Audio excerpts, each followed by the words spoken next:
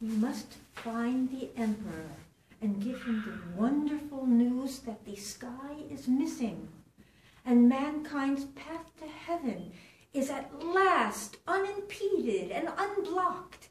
And God calls on His Highness the Emperor to build a thousand spaceships and Right. put on Good.